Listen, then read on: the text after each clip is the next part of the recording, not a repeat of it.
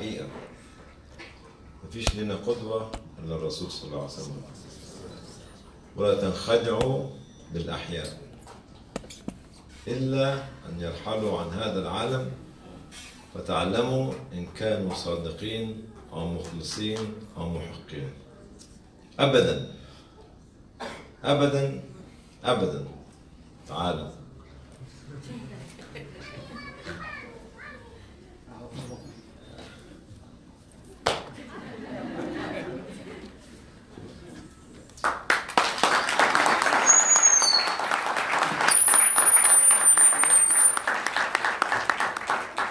في عفريت في الميكروفون. كان موجود معانا امبارح مش كده؟ آه جه معانا الأصل فيكم والخلق والأمل فيكم والمستقبل فيكم. ونحن بكم وبدونكم لا نستطيع أن ننجز على الإطلاق. هنا في شباب اسمك إيه؟ لمن؟ لينا. لينا. عصام؟ عاصم. هم دول المستقبل. تعال يا عاصم معايا. تعال يا لينا. هم دول وغيرهم المستقبل. وغيرهم اللي إحنا عايزين نستثمر فيهم حياتنا ونستثمر فيهم فكرنا ونستثمر فيهم مالنا هم دول اللي ممكن يغيروا تاريخ العالم كله فيما بعد.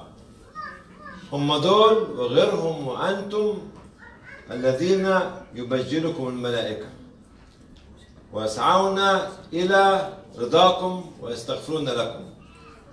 هم دول بكم ولكم ولنا سيحدثون التغيير. إن شاء الله. شاء الله. شكرا لك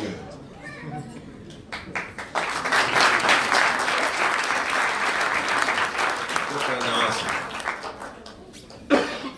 إحنا بنتحدث اليوم عن قضية هطلب منكم جميعا أن تقفوا.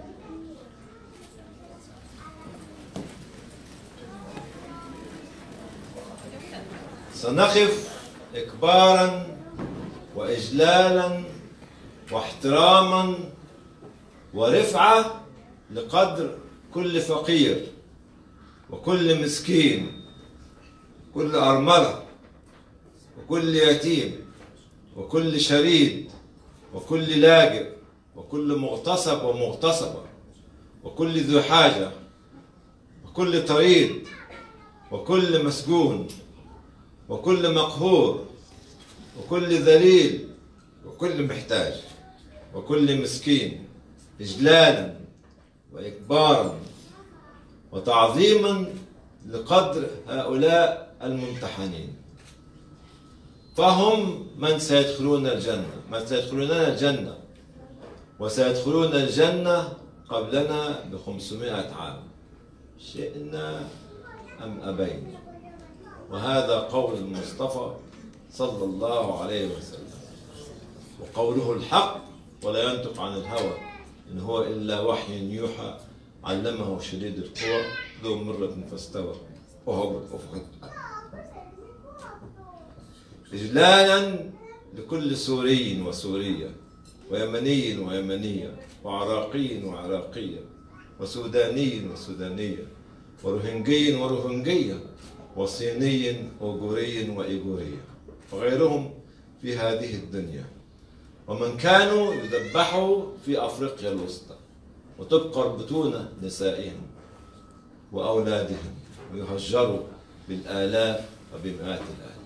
إجلالا وإكبارا واحتراما وتقديرا لأنهم أقوى منا ونحن الضعفاء. أغنى منا ونحن الفقراء.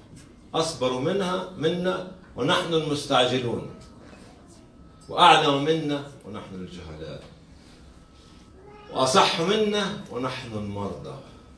هؤلاء لابد أن نقف لهم إجلالا لأن بهم تفتح الجنان وبهم ندخل الجنان. وبدعائهم لنا إلينا جميعا يبارك لنا الله سبحانه وتعالى في أعمالنا وأرواحنا وأبنائنا. ها ومستقبلنا وأمتنا وكل وأموالنا إلى آخره. جزاكم الله خير. تفضلوا.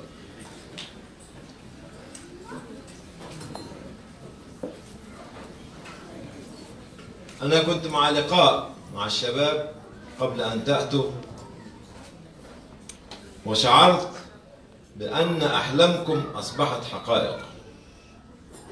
كان ممكن كل المتطوعين يقفوا أو يأتوا إلى هنا لو سمحتم volunteers can you come here please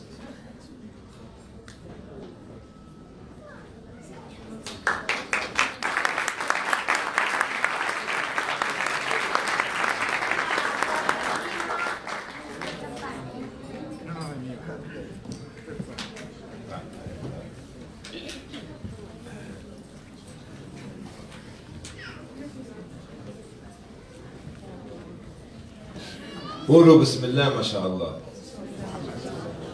قولوا بسم الله ما شاء الله. كلما دخلت جنتك قلت ما شاء الله لا قوة إلا بالله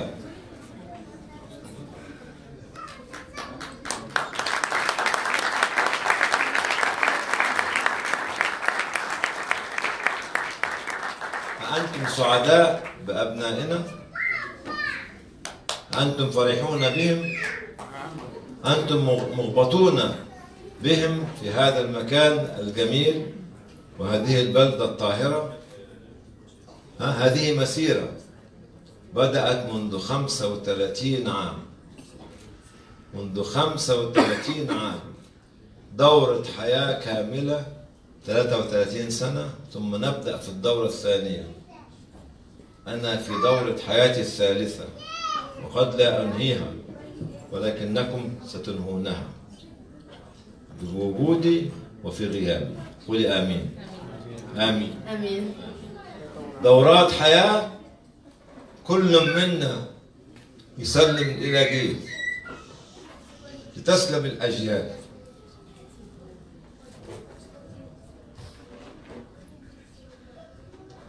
ويعطي إلى شباب يتحدوا الصعاب. فهم التحدي. أنا كنت كاتب كلمة عن التحدي.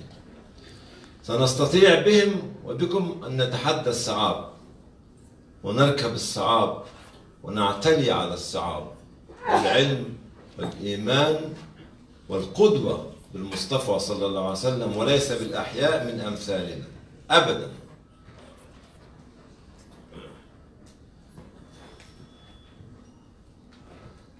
أجيال تأتي وتذهب. لكن يبقى أنتم.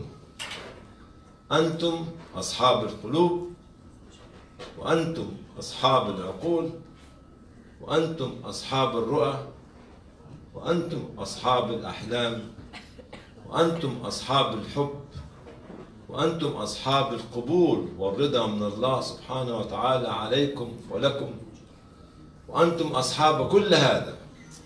واليوم حرارة إيمان هذا المكان لا يستطيع أن يقيسها إلا خالقها سبحانه وتعالى. حتى الملائكة ستعجز عن قياسها. أبدا أبدا أبدا. وسيسجلون مثل هذه اللحظات في كتب وصحائف من نور. لا يدركون أثرها ولكن الله سبحانه وتعالى يدركها. ويقول لهم اكتبوها كما رأيتموها. يروا هؤلاء الشباب في هذه الأماكن وهذه الوجوه النيرة المطيعة المخلصة لله سبحانه وتعالى تقف لتقول لا للفقر تقف لتقول لا للظلم تقف لتقول لا للجوع والحرمان والجهل والتخلف والتصحر والجفاف. أنتم هؤلاء الذين سيتحدث عنكم الملائكة في كل زمان وفي كل مكان. ولن يستطيعوا أن يقدروا جليل أعمالكم وعظيم أمركم. والله سبحانه وتعالى هو الذي سيكتبها ويحفظها لكم في يوم لا ينفع فيه مال ولا بنون إلا من أتى الله بقلب سليم. وأنتم ذوي القلوب السليمة بإذن الله سبحانه وتعالى. سنتحدى بكم. أنا أنزل هنا صعب أن تقف إلى جانبهم. كمية الطاقة الإيجابية اللي موجودة معاهم تجعلني أحترق. كل منا ينظر في صور الفقراء ويضع نفسه داخل الصورة. أنا أم. من اليمن. لا أستطيع أن أرضع ابني. وأنا أب من سوريا. أرى ابني يموت وسط الثلوج. وأنا أخ لأخت وعم وخال صومالي وروهنجي وإيغوري. ولا أستطيع أن أتكلم أو أتحدث أو أعي ما يحدث لأبنائي وبناتي. وجيراني في هذه الأماكن. ولكن سنكون شهودا أمام الله سبحانه وتعالى لهم وسنكون معينين وعونا لهم وسنكون واقفين لهم وسنكون مبجلون لاستبارهم وصبرهم بإذن الله سبحانه وتعالى. الفقير أغنى منا. الفقير أقرب منا إلى الله سبحانه وتعالى.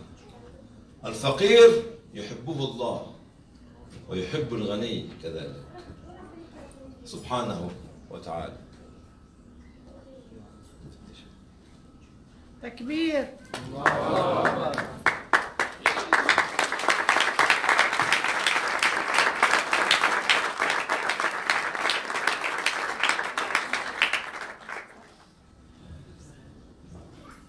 سأذكر لكم قصة بسيطة.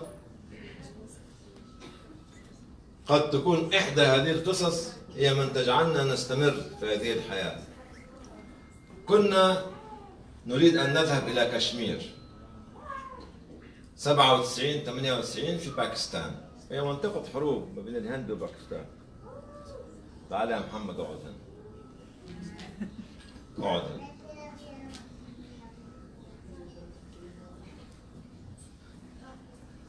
وطلعنا الجبل بعربة. وعلى الطريق في الجبل رأينا رجلا على قارعة الطريق في الجبل يشاور لنا.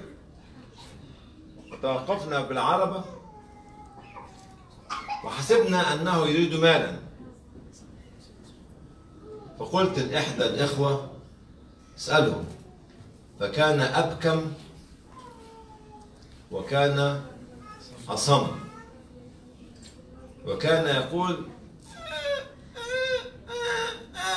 ما زلت أسمع صوته بعد 11 أو 12 سنة من هذه الرؤية. وقعد يشرح بصوته أنه يريدنا أن نأخذهن معه. فلما صعد إلى العربة هنا القصة تبدأ كانت رائحة العرق فيه صعبة. لم أستطع أن أتحملها لأنني ضعيف ولأنني أدعي ما ليس فيه ولأنني لا أمتلك تحمل رائحة لمدة دقائق واضطررنا أن نفتح جميع النوافذ في العرب. ونظرت خلفي فرأيت ابتسامة لم أرها في حياتي إلى يومنا هذا. ابتسامة الرضا الرضا ابتسامة الشكر ابتسامة الامتنان ابتسامة العرفان بالجميل. وصفوها كما تريد أن تصفوها. وأردت أن أخو أن أخذ معه صورا لأي أبتهج لكي أبتهج بها. فلما نزل مشيت وراه حاولت أجري ألاقيه اختفى. لا أدري أكان رجلا أم ملكا ولكني إلى الآن أعيش بهذه الابتسامة. لا تحقرن من المعروف شيئا أبدا ولو بسمة في وجه أخيك ولو صبوحة في وجه أخيك وأختك وجيرانك. أن ترى أخاك تلقى أخاك بوجه طلق أبدا هذه قصة قد يكون دعوة هذا الرجل منذ 11 سنة هي التي تجعلنا أن نقف أمامكم هناك وتحدث عنها الشباب هذا الحديث. دعوة هذا الرجل وليس هذا الرجل الذي يقف أمامكم ولكن هذا الرجل صاحب الابتسامة ولسنا نحن. فبدعائهم نستمر ونقوى ونتقوى ونقف ونمتلك حب الناس. إن أحبتكم الناس حبكم الله سبحانه وتعالى. وإن أحبكم الله حبب فيكم كافة الخلائق. كافة الخلائق. كافة الخلائق. اليوم أنا سأربأ بأن أقف لأمد يدي من أجل اليمنيين. ولكني سأرى منكم من سخاء وكرم وعطاء ما يجعل كل ملك هنا في هذه القاعة يتحدث عنكم أمام الله سبحانه وتعالى أن يبتهج بما ستقدمون وما ستفعلون وما ستعطون لله سبحانه وتعالى. إنما نعطي ما لله لله. من أجل إحياء قلوب هؤلاء الضعفاء والمساكين في اليمن وفي كل مكان وفي كل زمان. هذا هو التحدي. تحدي الأنفس وتحدي الطباع وتحدي الشح وتحدي الكسب وتحدي الخوف من الفقر. كيف نخاف من الفقر؟ ونحن نعبد العاطي المعطي الرزاق سبحانه وتعالى. أنا لا أريد أن أطيل عليكم لأن كثرة الكلام ينسي بعضه بعضا. مش كده برضك وأنا أقف هنا يعني وبيني وبينكم مسافة لأن صعب علي أن أقف بجانبكم لأنكم حلم تحقق. ورسالة تتحدى العالم كله ومهمة بدأت تنتهي مرحلة من مراحلها.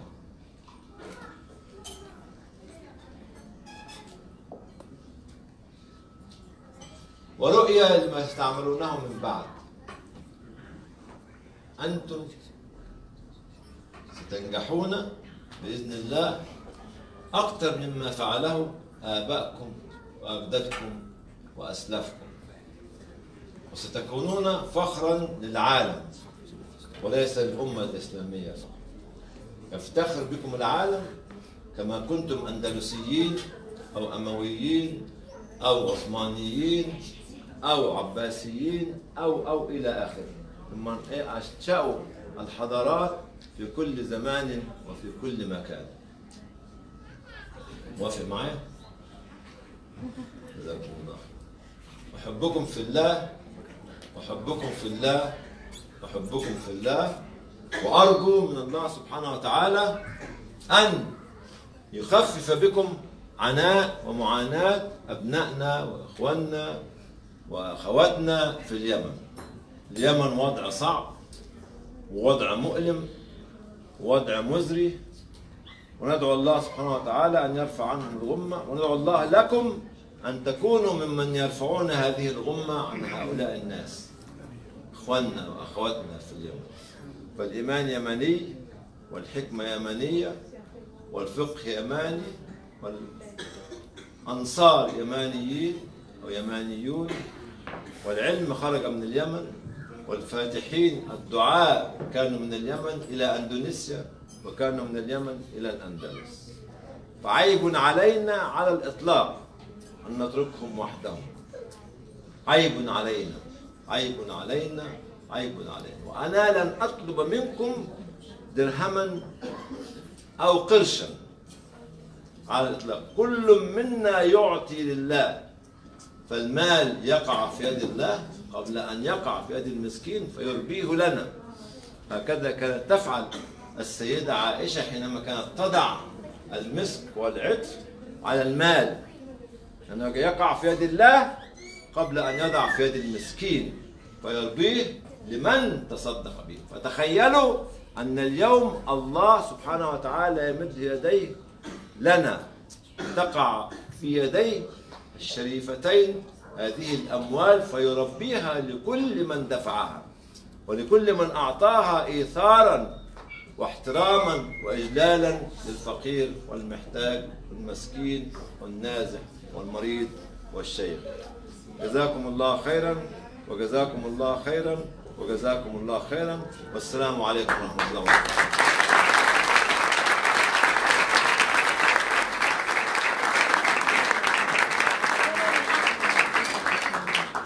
Di nuovo un grandissimo applauso al dottor Hamil Benna.